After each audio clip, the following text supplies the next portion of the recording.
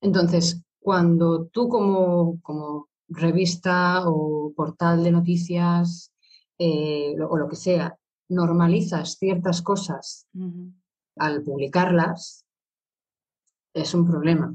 Es decir, se deberían visibilizar aquellas cosas que cumplen los valores ¿no? que queremos tener, no aquellas que no nos cumplen.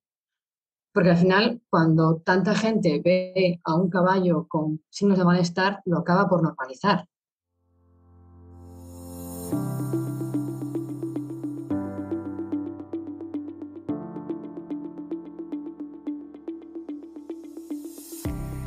Estamos de vuelta una semana más en The Modern Rider, el primer podcast ecuestre que reúne el deporte con el horsemanship. Un lugar especial para descubrir entrevistas inspiradoras a los mejores profesionales ecuestres para ayudarnos a convertirnos en mejores jinetes más conscientes y responsables. Os agradezco sinceramente por vuestro apoyo y la bienvenida que reserváis a cada uno de nuestros invitados. Ya sois unos cuantos en haber accionado nuestra amiga la campanita en las distintas plataformas. Si todavía no está hecho, os invito a, hacerlo desde ahora para ser los primeros en recibir una notificación en cuanto sale un nuevo episodio. Hoy quiero empezar con una pregunta. ¿Habéis pensado alguna vez sobre el poder de las imágenes sobre nuestra sociedad y más precisamente sobre la equitación? Entre la prensa ecuestre, las marcas y las redes sociales estamos inundados de fotografías de caballos a diario. Por lo mejor y a veces por lo peor. El caballo, con su fuerza y su carisma, nos impresiona tanto que nos quedamos en admiración cuando vemos a un binomio saltando montañas o haciendo un espectacular trote en extensión, por ejemplo. Como jinete, cada sesión de entreno, de salida al campo o de competición es una nueva oportunidad de sacar la cámara para tener recuerdos de estos momentos mágicos con estos seres que tanto amamos.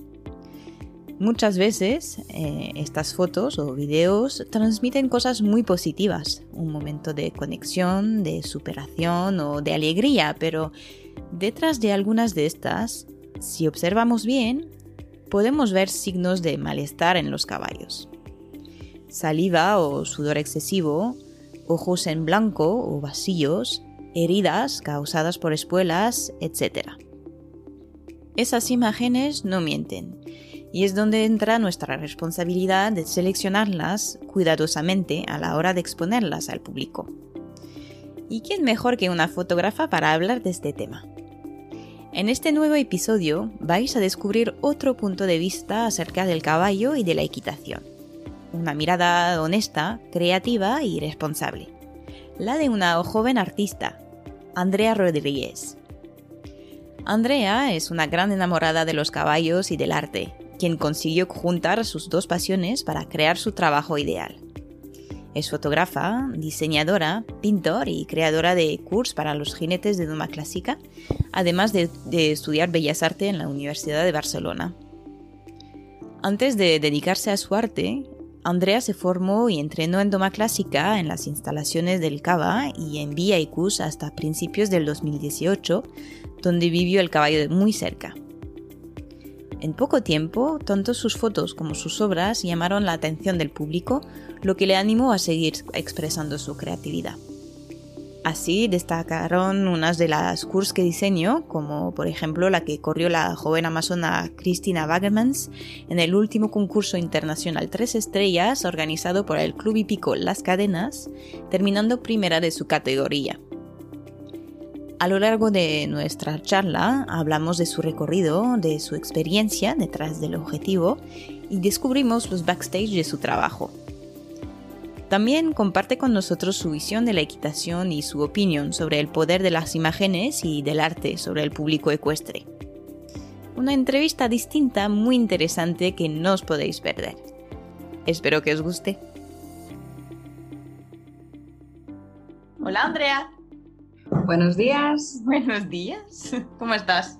Muy bien, ¿y tú? Muy bien, gracias por sacar este huequito para hablar un poco con nosotros esta mañana. Bueno, de momento conmigo, pero... Faltaría más. Faltaría más. Qué guay. Pues em, estoy muy contenta de hablar contigo esta mañana porque fue un poco una pequeña improvisación, porque es verdad que hasta ahora, bueno, tenía un poco un calendario de personas que quería entrevistar del mundo ecuestre, y es verdad que eh, tu perfil no lo había pensado hasta que vi eh, un día en, tu Instagram, porque claro, tú eres eh, fotógrafa y artista y haces muchas cosas relacionadas con el mundo ecuestre.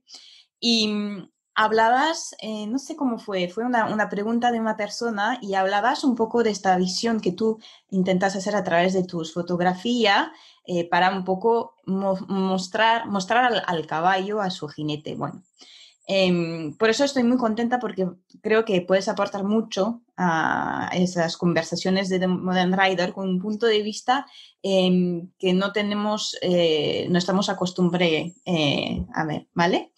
Em, para em, empezar con una, una preguntita un poco distinta,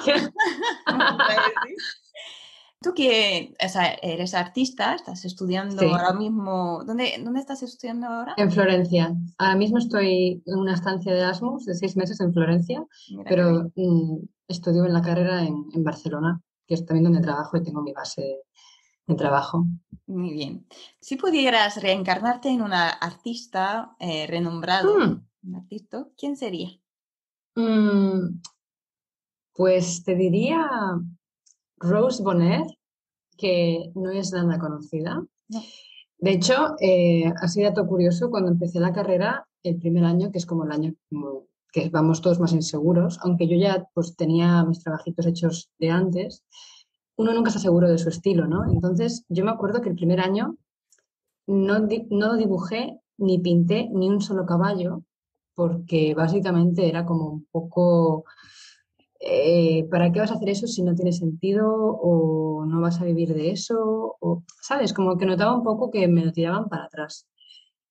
Y claro, a veces el problema de los profesores en algunas carreras es que pecan más ellos de cerrados de mente y de, ignorantes que otra cosa.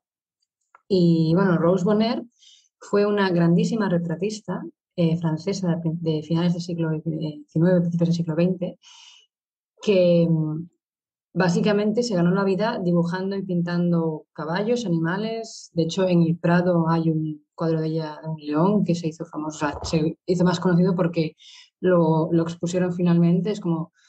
Y a mí me parece una, mujer que se montó la vida como quiso, en una época en la que las mujeres tampoco tenían pues mm, demasiada facilidad incluso para hacerse artistas y se hizo muy reconocida por ser una gran pintora de naturaleza y de y de caballos, que era lo que más me gustaba ya pintar. Entonces, claro, cuando el día que le puse delante, encima de la mesa al profesor, no, mira, esta mujer es una referencia para mí, cállate, déjame pintar caballos, ¿sabes? Es que soy muy directa. Así que me reencarnaría en ella. Y de hecho, em, fíjate que aquí en Florencia estoy pintando caballos. O sea, básicamente. Porque... Lo tienes en la vena es lo que más me llena, ¿sabes? También estoy con figura humana y demás, pero, joder, aquí pues sí que me lo valora. Al menos, no sé, hay mucha gente que pinta personas, ¿no? Hay menos gente que pinta caballos, con lo cual, pues, yo me quedo con lo segundo. Muy bien. Y entonces, tú, Andrea, antes de tener tu oficio como artista, como fotógrafa, em, montabas, montabas bastante, te dedicabas a la doma clásica. Eh, ¿Cómo, primero, ¿cómo vino este cambio de decir, voy a dejar un poco de lado montar y me voy a dedicar a mi arte? ¿Por qué y cuál fue este proceso de, cambio? Pues mira, em, empiezo por el principio.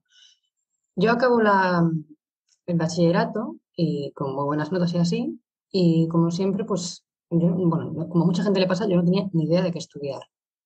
En el término estudiar me refiero, porque yo Bellas Artes ni lo contemplaba como una oportunidad o una opción, primero porque según yo misma era mi hobby, y yo los hobbies no los uso para trabajar, mm. qué graciosa, y segundo porque Bellas Artes es una carrera sin salidas, como todo el mundo sabe. Entonces era algo que ni me lo planteaba seriamente. Y al final pues me, decidí tirar a la piscina de, de la equitación porque era lo que realmente pues me, sentía que, me, quería vivir de ello, ¿no? De los caballos.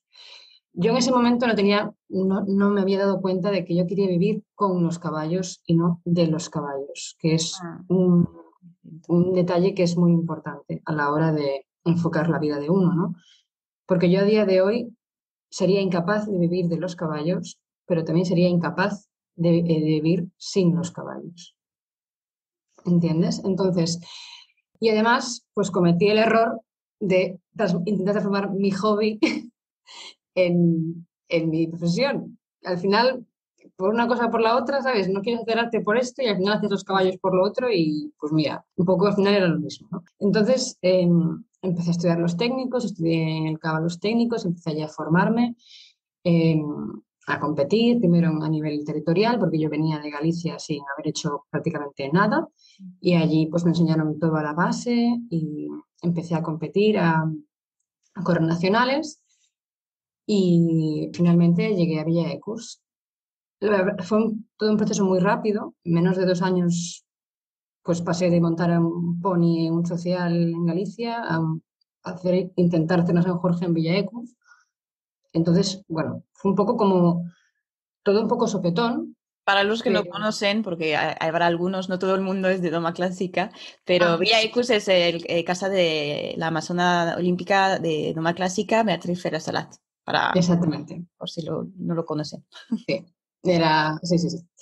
Entonces, eh, claro, cuando estaba yo en casa de Beatriz, eh, era un poco el punto este de inflexión de decir, de aquí tengo dos opciones. O me voy a Europa por ahí a aprender a, montar ya, ¿sabes?, de la manera más profesional posible. Es decir, me tiro a la piscina o no, ¿sabes? Entonces, en esos dos años y medio de experiencia, yo tenía 20 años, ahora tengo 23, tampoco es que sea mucho más mayor, ¿no? Pero realmente era muy joven. Me fui a Cataluña con 17 años. Eh, me di cuenta de que esos, esos años eh, habían sido muy absorbentes, es decir, no tenía en mi vida todo, todo, aquello que yo quería tener. Es decir, el mundo del caballo, como todos sabemos, es un mundo que solamente es válido para las personas que solamente quieren hacer caballos. Yo tenía otras muchas inquietudes y por otra parte también me di cuenta de que mi talento natural, por decirlo así, no es montar a caballo, sino pues crear, ya sea fotográficamente hablando o con arte plástico, lo que sea.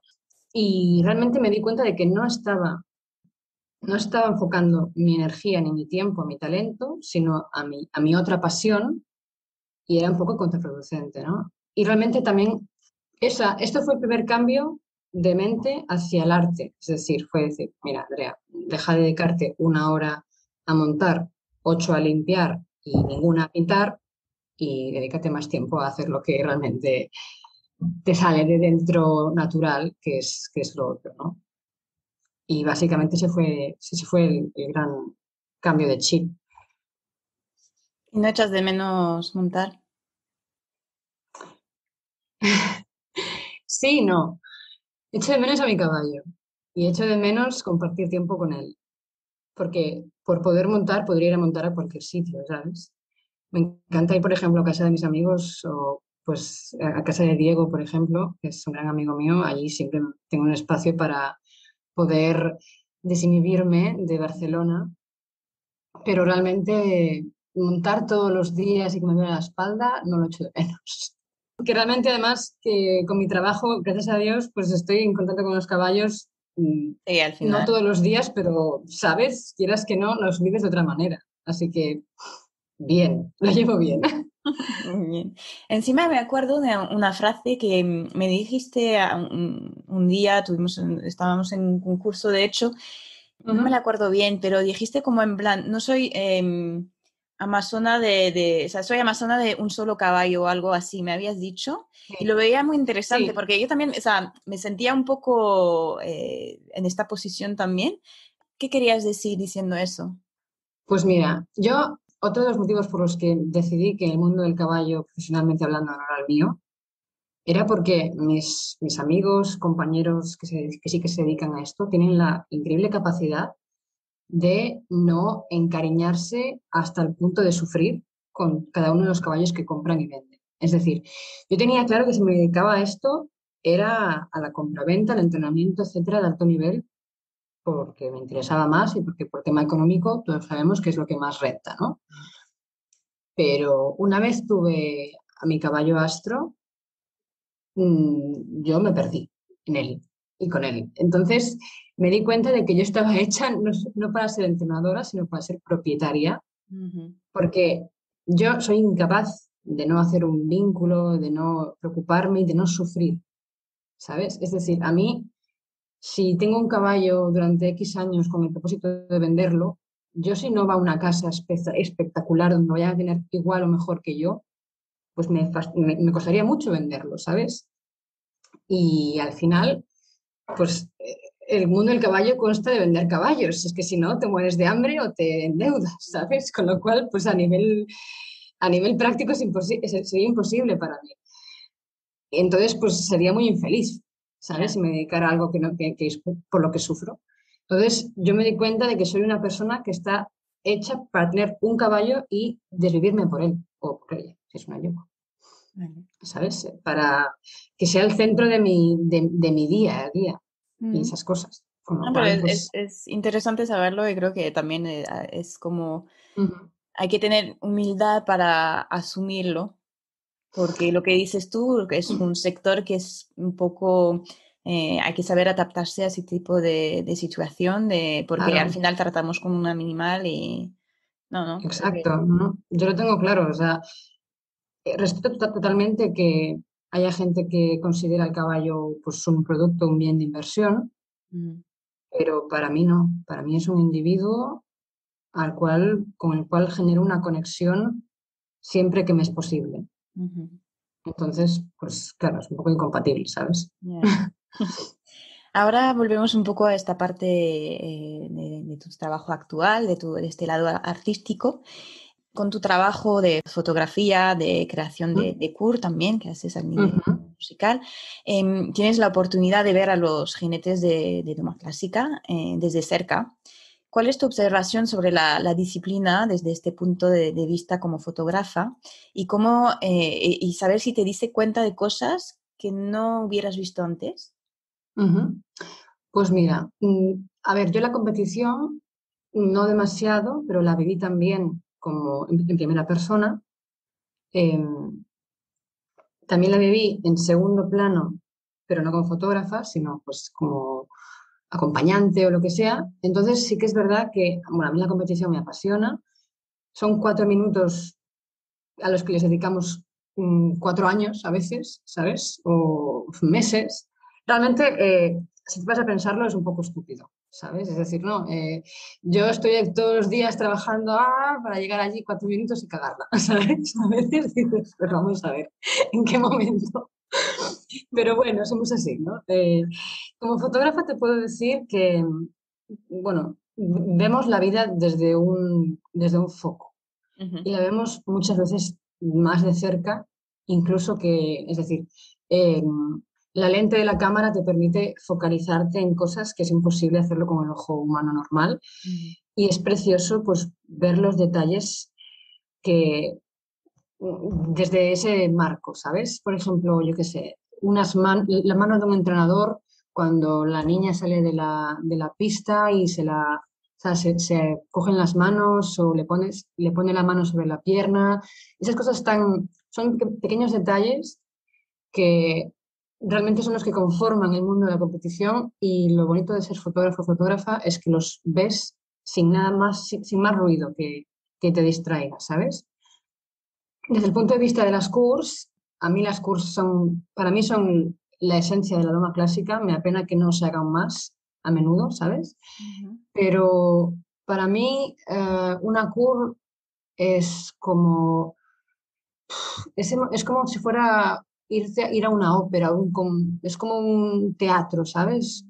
La ópera para mí es, preciosa, es muy importante y, me inspira mucho porque en, mis trabajos también busco siempre que sean, dentro de las posibilidades, lógicamente, lo más teatrales posible, ¿no? al final es como vas a hacer una performance. Y, realmente con la, música para mí es la esencia también en parte de, de la vida y cuando la ves eh, encima de un caballo, como que todo cobra sentido. Y dices, ah, vale, es un baile, ¿sabes? Es decir, cuando mis amigos que no son del mundo del caballo me preguntan qué hago, directamente les pongo la música y entonces lo, entienden, ¿sabes? Y dices, ah, está, está, está, el caballo bailando y es como, sí, definitivamente sí.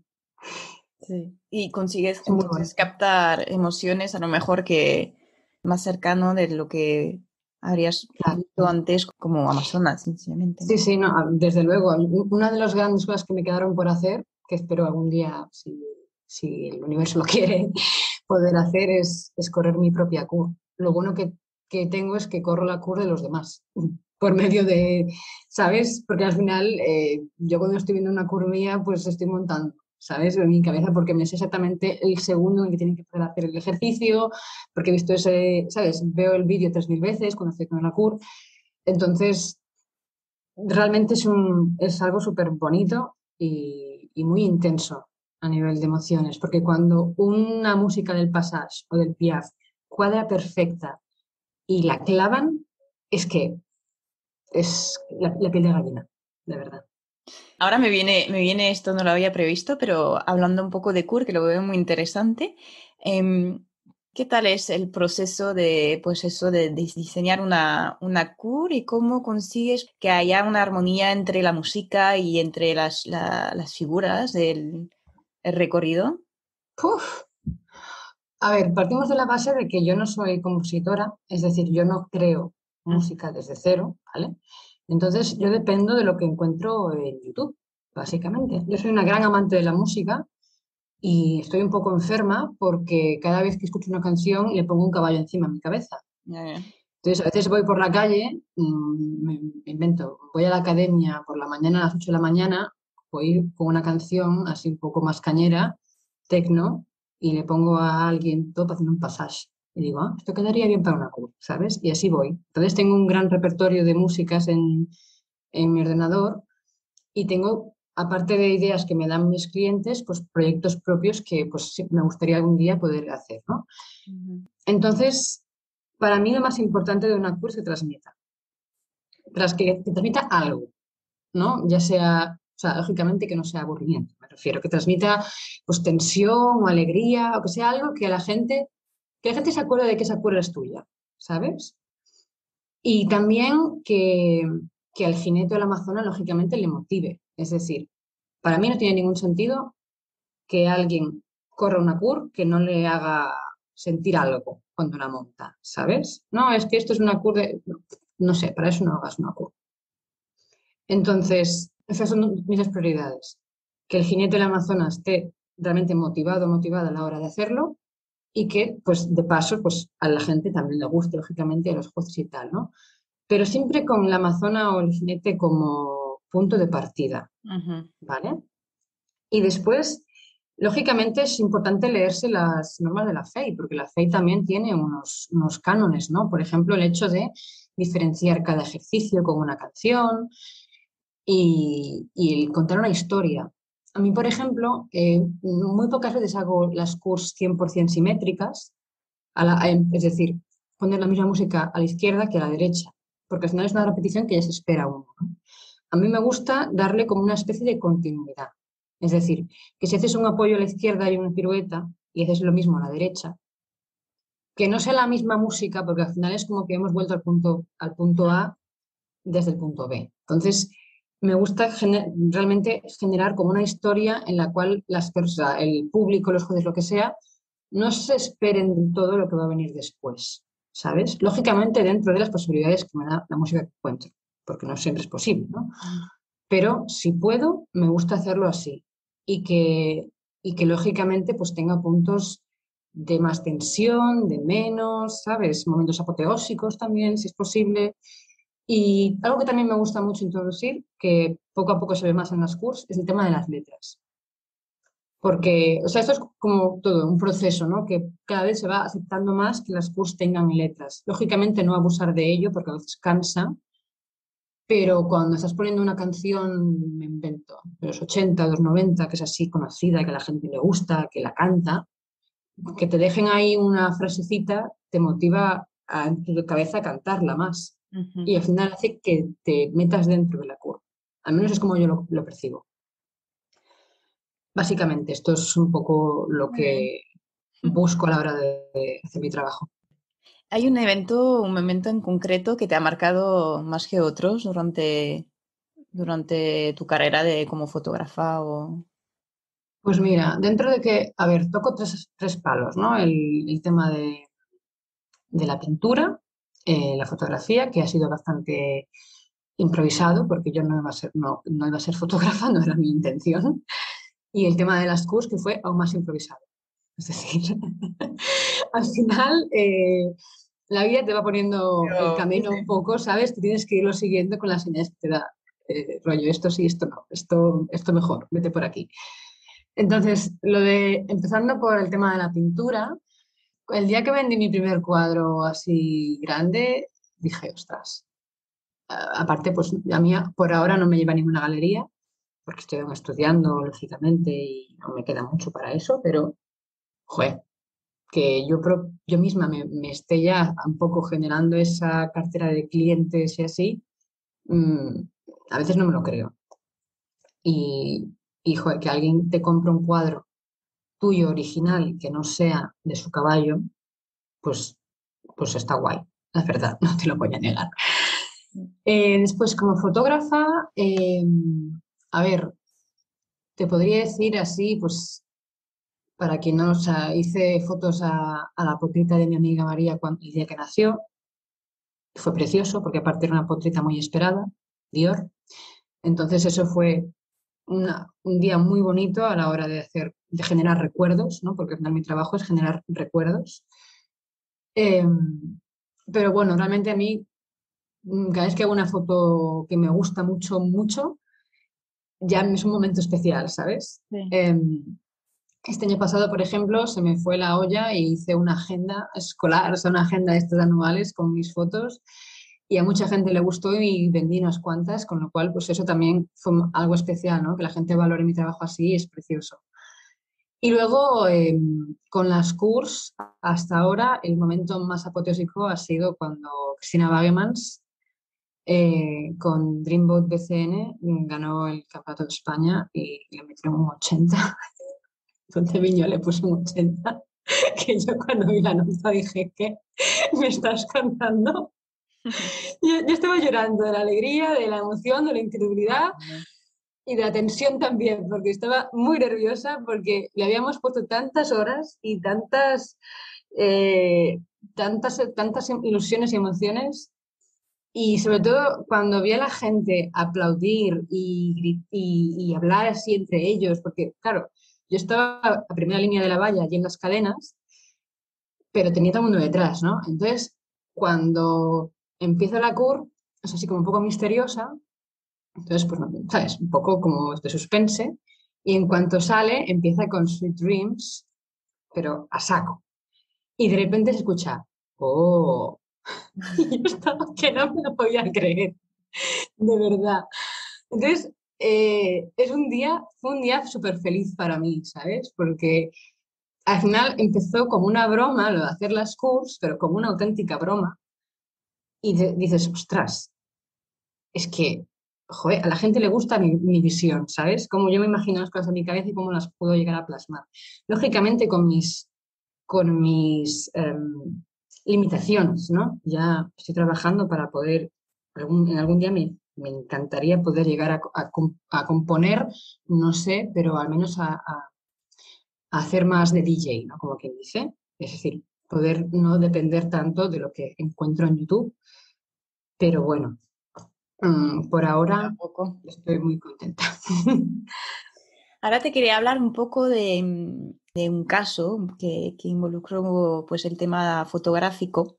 Hace un par de años, en creo que fue en el año 2018, si no me equivoco, hubo una polémica en Francia sobre la, foto de portada de una revista ecuestre bastante famosa, donde podíamos ver a un, un jinete de salto, que en su momento fue ganador de un campeonato de prestigio, cuyo caballo tenía rasgos de malestar bastante visibles. Y entonces, pues después de su publicación eh, hubo, mm, varias peticiones, fueron firmadas y la revista tuvo que retirar eh, esta foto de, todos los medios. Em, ¿Cuál es tu opinión sobre el papel y la responsabilidad de la, prensa ecuestre y este tema fotográfico hoy en día? Vale, pues te explico la, base de todo esto. Ahora mismo eh, vivimos en un mundo cuyo lenguaje principal son las imágenes. Es decir, hace siglos la gente escribía muchas descripciones porque no había imágenes para describir lo que sucedía pero a día de hoy, y más desde que Instagram apareció y todo esto, las imágenes son la clave del lenguaje social. ¿vale? Y la prensa es uno de los pilares de este lenguaje de imágenes, ¿no? porque es, es como algo público donde la gente pues realmente se educa o básicamente coge muchas referencias de ahí, ¿no? Es decir, tiene una responsabilidad para con el lenguaje que utilizan. Entonces, dicho esto, la clave de la normalización de las cosas es que sean visibles en ese tipo de canales. Entonces, cuando tú como, revista o portal de noticias eh, o lo que sea, normalizas ciertas cosas al publicarlas, es un problema. Es decir, se deberían visibilizar aquellas cosas que cumplen los valores ¿no? que queremos tener, no aquellas que no nos cumplen. Porque al final, cuando tanta gente ve a un caballo con signos de malestar, lo acaba por normalizar. Esto es como cuando, es decir, eh, un momento, yo cuando tenía 10 años, cambiando totalmente de, de tercios, pero para que se entienda bien, en mi vida había visto a dos chicos besarse, porque no era algo normal y no era algo que se con lo cual, para mí era algo extraño y hasta incómodo. A día de hoy, lógicamente, no. Pero para un niño de que tenga hoy 10 años, entiendo que con la cantidad de cosas que hay para visibilizar este tipo de valores, sea algo mucho más normalizado, no es algo extraño. Para mí, lo mismo debería pasar con caballos que tengan eh, pues, signos de bienestar, no de malestar. Entonces, creo que la prensa eh, la prensa y en general cualquier portal de imágenes ecuestres mm. o cualquier portal de información o lo que sea, tiene un, um, un, deber, ¿no? Que es el de velar por el bienestar de los animales por medio de normalizar cosas que sí estén bien y no al revés. ¿Sabes? Yo, por ejemplo, mi fotografía, pues, a ver, lógicamente intento hacer esto, porque es que si no, eh, no tiene sentido. ¿sabes? Sería un poco hipócrita. De hecho, em, aparte de, eso, del hecho de dar, dar, vida a tu creatividad, ¿tienes otro propósito con tu trabajo artístico relacionado con, los caballos? Podría ser hablando un poco de esta, este papel de, dar de enseñar el bienestar del caballo. Pues mira, a ver, em, en cuanto a la pintura, que es como mi trabajo más de autor, mm, con mi, pintura original lo que me gustaría poder hacer, si algún día trasciende a, algo, ¿sabes? Es decir, si no se queda en el olvido cuando me muera, em, me gustaría darle al caballo un papel digno de ser individual, porque hasta ahora el caballo en el arte, más que ningún otro animal, ha sido utilizado siempre como, según, como complemento de las, del ser humano. Es decir, en los, en los cuadros de los generales y los reyes y los capitanes y Napoleón, todas estas cosas, el caballo siempre es como un estandarte o como un altar para el ser humano que lleva encima. Generalmente siempre es el hombre, pero bueno. Entonces, eh, es como, mm, siempre se usa el caballo como engrandecedor de otra cosa y no como realmente un ser vivo que está ahí por algo, ¿no? Entonces, eh, a mí me gusta utilizar a los caballos como, como directamente como, los protagonistas de mis cuadros, porque para mí son más importantes que un simple complemento, mm. ¿sabes? Son sujeto. Entonces, me gustaría que si algún día alguien piensa en mi obra, piense por el hecho de que pinté caballos hermosos, eh, expresivos y, y que realmente que con ellos bastaba. No mm. hacía falta meter a, nada más para, para que algo llegue. De hecho, estoy muy, muy contenta porque en la academia eh, pues claro, ahí pasa mucha gente por el, por el, por, la, por el aula, ¿no? por el estudio, y, a veces pues me quedo observando, tengo el cuadro allí puesto secándose, ¿no? Un cuadro que era de dos caballos, una tormenta, y la gente pues se para a mirarlo y, y me gusta mucho el hecho de que llame la atención, primero porque nadie más pinta caballos en, en la academia, entonces, primero te llama la atención porque ves a dos caballos que son el centro del cuadro y no hay nada más que eso. Entonces ahí pues empiezan a pensar, ¿no? Y a, ver qué sugiere y tal. Entonces me gusta porque crea, genera una impresión. Es, más que, ya es más que nada, ¿sabes? Y a la gente en general pues le suele gustar. Entonces, pues yo tiraré por ahí y realmente no, no, no voy a negarme más mi propia mi propia esencia creativa porque me parece estúpido, ¿sabes? Es decir, yo nací para pintar caballos, punto. Y quien me diga lo contrario, pues puede hacerse una sándwich y irse a comérselo por ahí, ¿sabes? No, pero es, es interesante porque es verdad lo que dices tú, esta em, imagen del caballo en el arte en general.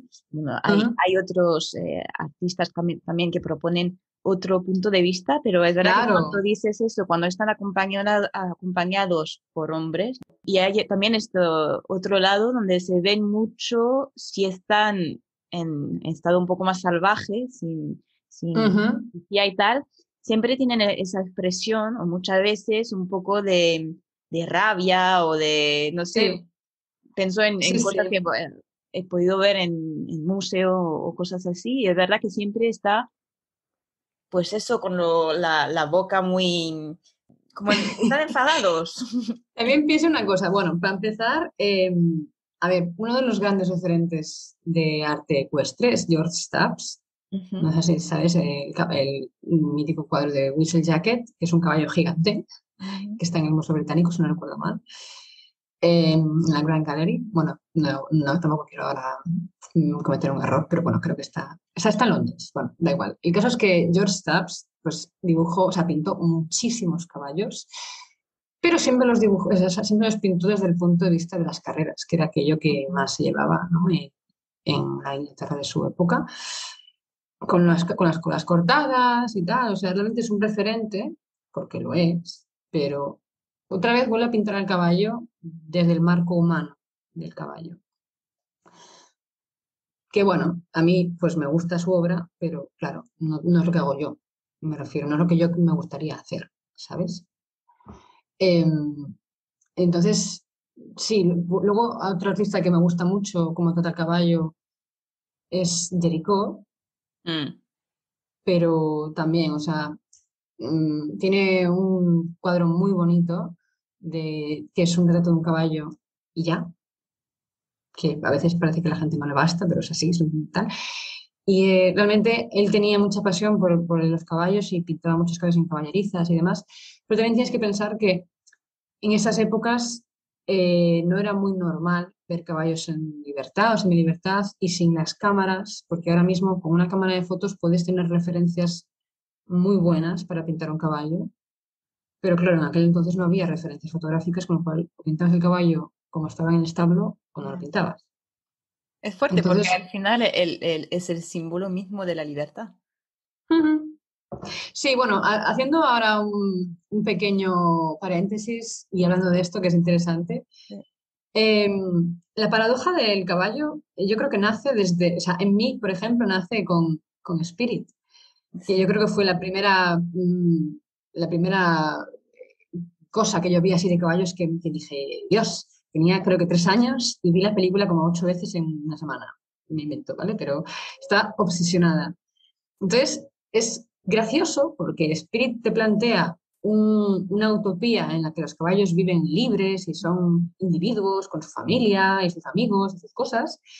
Entonces, viene, viene el ser humano, lo captura tú lógicamente te pones del lado del animal, ¿sabes? Eh, y, no quieres que lo capturen, no quieres que esté encerrado en una cuadra, no quieres que lo que sea, ¿sabes? No quieres que esté con sus humanos, quieres, que vuelva a su casa y tal. Y luego acabas de ver la película y dices, qué bien, voy a montar a caballo una hípica. ¿Sabes? No tiene sentido. al final, eh, y claro, a ver, yo eh, te cuento esto siendo la primera que lo hice, me refiero. A ver, no voy a dar a nadie lecciones de moral, ni mucho menos. Sí, sí. Y soy la primera que le gusta montar a caballo y soy la primera que le gusta competir. Que de hecho, cuando dejé el mundo de la alta competición, eh, tuve un poco una época muy conflictiva en la cual renegué totalmente de eso. Mm.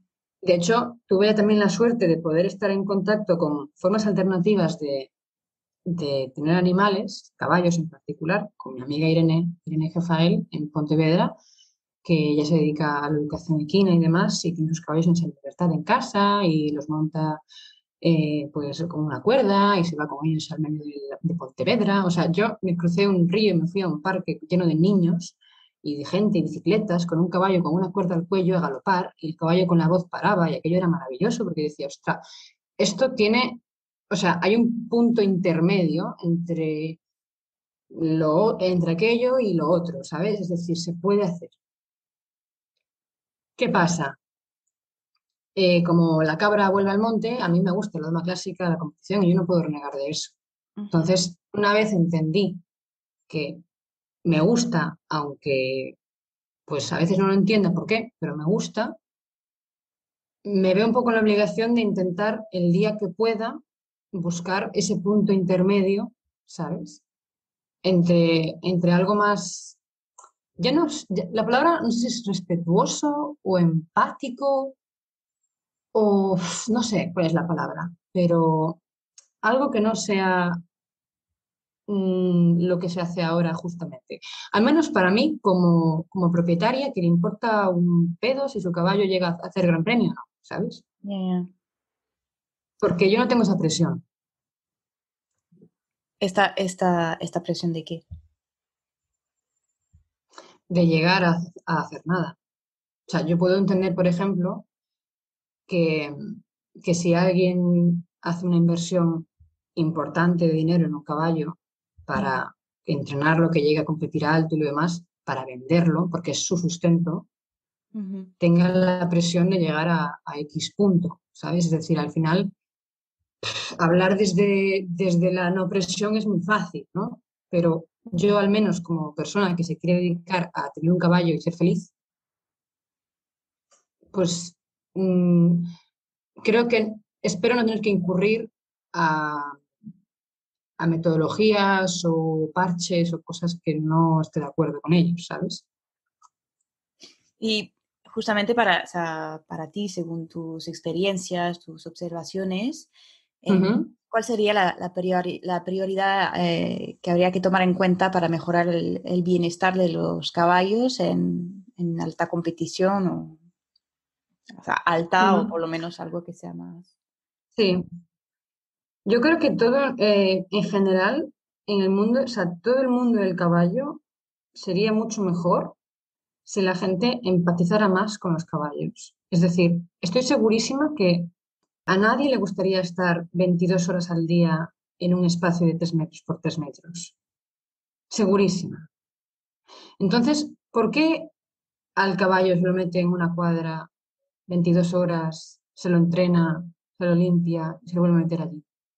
¿Sabes? Es decir, algo que a mí no me parece nada bien es que al caballo se lo trate como, como una motocicleta en vez de como un animal que tiene unas necesidades básicas mínimas, por el simple hecho de que es un bien de, de dinero. Es decir, el caballo no elige en ningún momento. O sea, es como, es como si fuera el esclavo y el tesoro a la vez, a veces, ¿no? Porque se los tienen entre, entre algodones, con todas estas cosas, y no puedes ir al... O sea, es como la paradoja de no saco al caballo al paddock porque se hace daño, mm. pero si no lo saco y lo saco un día, se vuelve tan loco que se hace daño.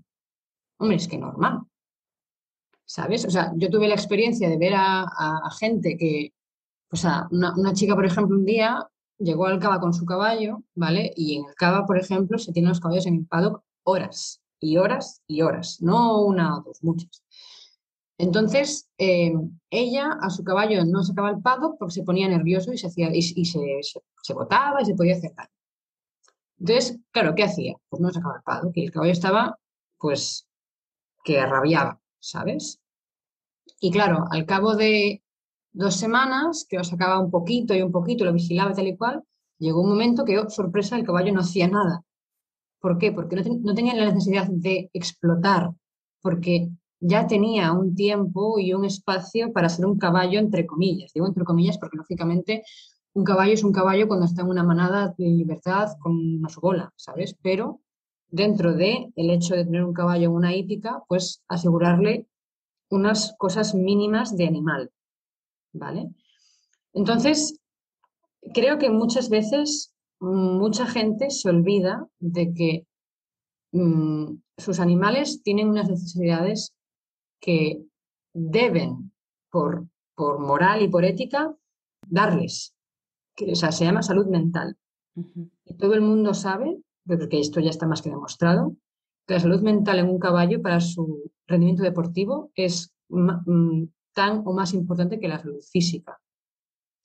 ¿Sabes? Porque un caballo feliz rinde mejor que un caballo anulado y que hace cosas por a la fuerza o por tensión o por lo que sea. Y para mí el ejemplo de esto siempre va a ser la cuadra de Calgeste, me parece una maravilla, sin haber estado allí nunca, pero, joder, es una persona que, que tiene los caballos como caballos, de alta competición, pero como caballos primero, ¿sabes?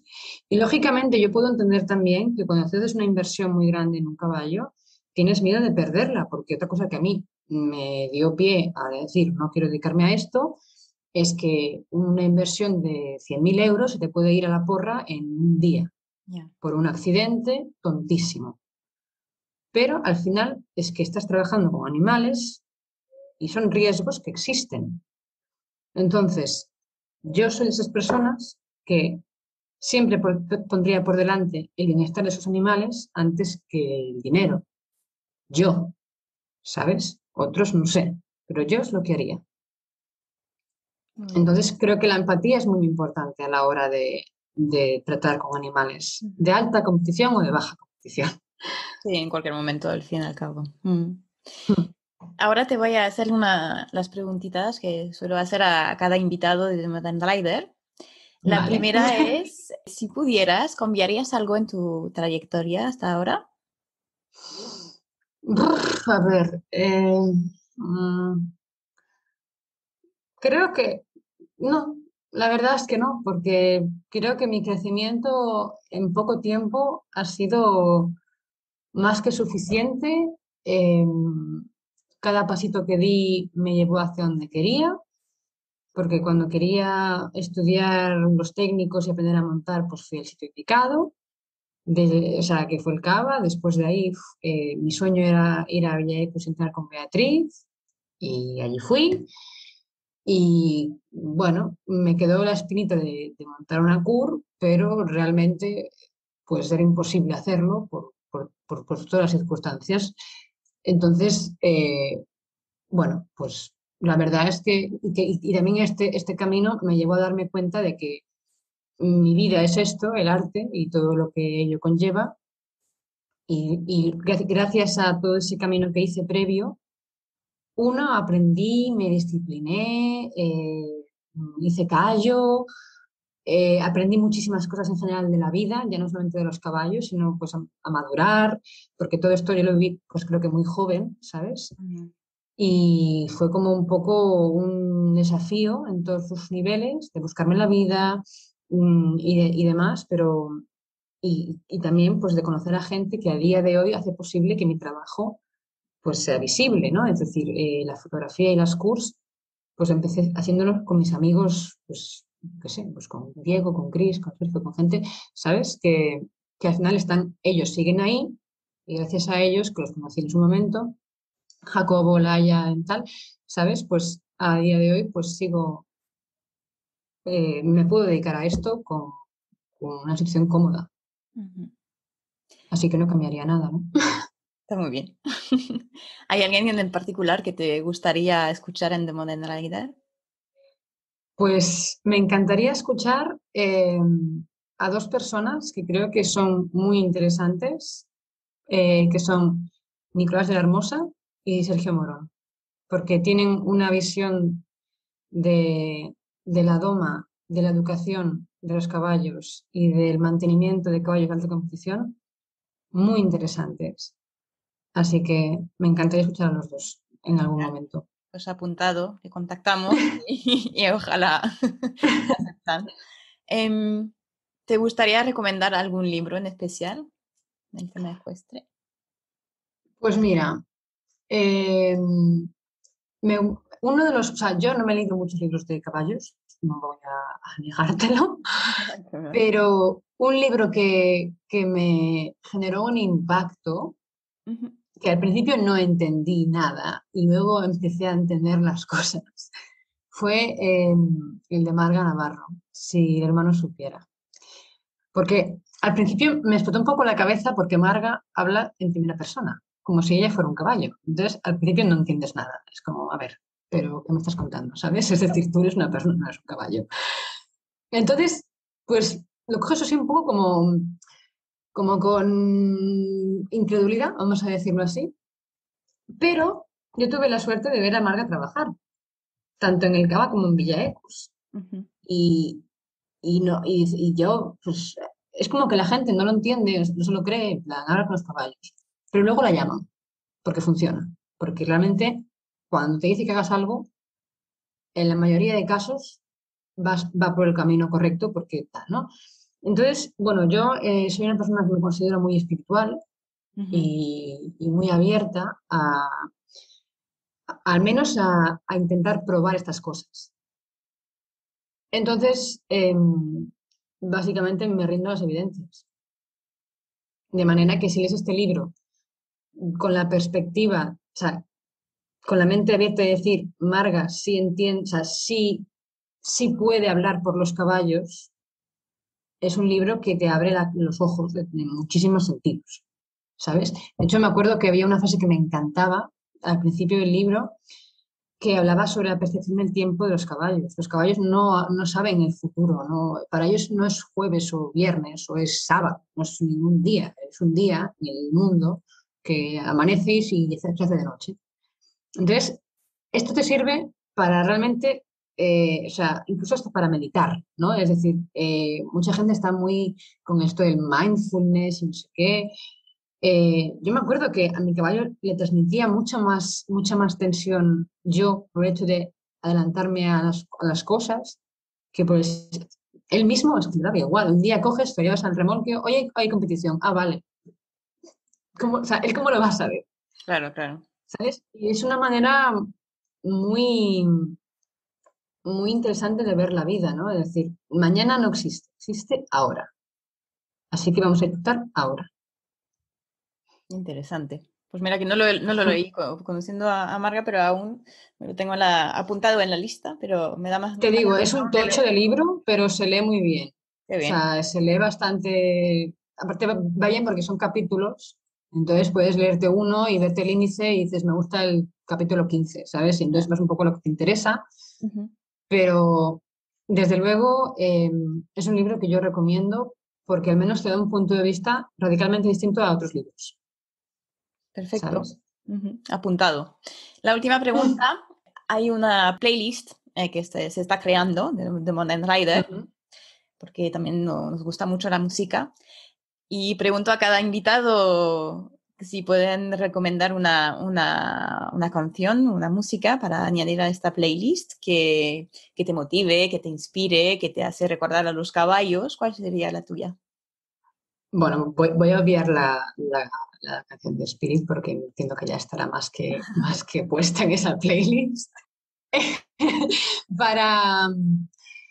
Hay, diré dos canciones, se puede. Bueno, una es, se llama Outro, bueno, Outro de M83, que es una canción que a mí me permite mucha libertad. Y luego me encanta El verano de Vivaldi, que es mm. una parte de las cuatro estaciones. Y el verano para mí es como toda esa fuerza. De hecho, es la que es para ahora hacer este último cuadro. Me la puse mucho porque realmente es como esa especie de potencia, explosión tormentosa, bella de los caballos, ¿no? Me gusta mucho esa canción, esa, esa, ese texto también. Genial. Pues ya está. Muchísimas gracias, la verdad que me lo pasé muy bien, muy interesante. Eh, espero que tú también, que lo haya disfrutado. Sí, sí. A mí hablar me encanta, o sea que... Y pues te seguiremos en tu, en tu trabajo, en tu trayectoria, esperando que ver unas de, de tus obras ahí dentro, dentro de poco. y, Ojalá. Seguro. Ojalá. Y nada, gracias, que te vaya todo bien. A ti, adiós.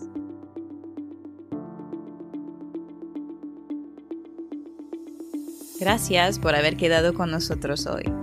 Espero que os haya gustado esta nueva entrevista y descubrir una visión original del mundo del caballo. Para saber más sobre el trabajo de Andrea y los servicios que propone, podéis hacerlo a través de su página web o de Instagram. Como siempre, todas las informaciones y referencias se encuentran en las notas del episodio. La próxima vez daremos la bienvenida a... Eh, pues será una sorpresa. A la hora a la cual os hablo, aún tengo que concretar fecha de grabación con dos personas estos días y entonces dependerá de a quién entreviste primero. Lo que sí os puedo decir es que hablaremos de etología, doma natural y educación equina, ya que estos temas son para ambas las fundaciones en las cuales se basan sus trabajos. Mientras tanto, os deseo un día estupendo. No dudéis en dejarnos una nota, un comentario o en compartir este episodio si os ha gustado y nos escuchamos dentro de dos semanas. Hasta pronto.